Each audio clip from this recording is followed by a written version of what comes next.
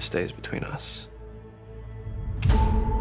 This case I'm working on is a double murder. So far, what we've found isn't pointing outward. The evidence points to things and to beliefs that I have only ever heard whisperings about.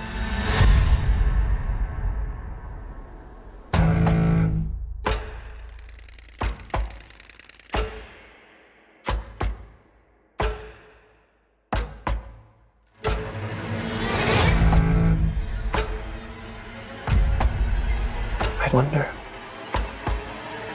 how something so horrific could have come to pass.